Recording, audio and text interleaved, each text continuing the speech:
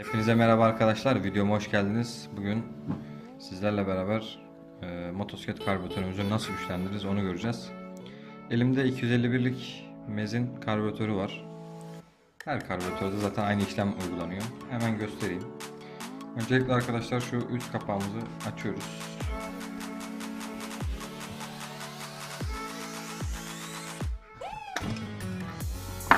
Şöyle yayımızı kenara koyuyoruz. Kapağımızı kenara koyuyoruz. İçindeki pistonu çıkartıyoruz.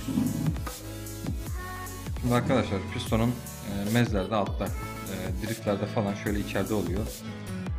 şöyle bir hilal var. İşte saç parçası var ve 5 tane kanal var. Kanalları görüyorsunuz. Tam 5 tane kanal var. Eğer daha önceden hiç ellenmemişse ayarı e, ortadadır. Bu saç tam ortadaki çukurdadır. Güçlendirmek istediğiniz e, kademeyi alacaksınız. Mesela bunu bir kademe aşağı alırsanız motorda herhangi bir boğulma falan olmaz. Birazcık e, performans falan artar.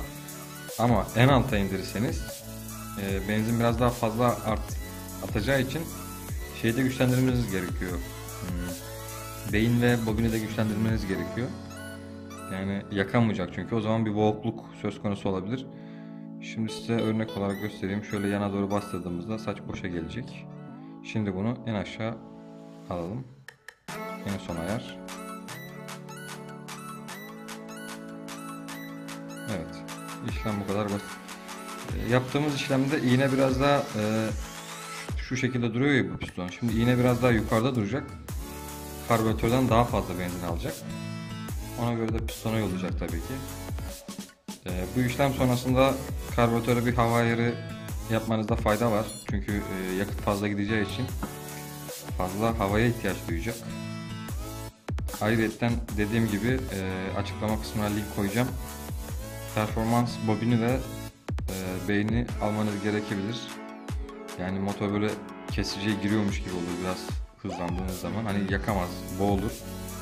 Ama bobinle beyin aldıktan sonra yani gerçekten kayda değer bir artış e, performans arttığını göreceksiniz. İşlem bu kadar basit arkadaşlar. Sonradan pistonumuzu aynı şekilde topluyoruz. Başka bir işlem yok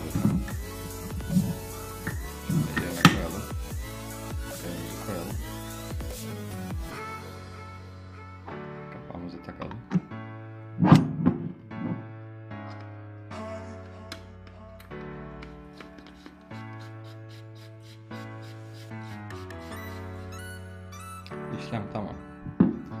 Evet arkadaşlar izlediğiniz için teşekkür ederim. Kendinize iyi bakın. Hoşçakalın.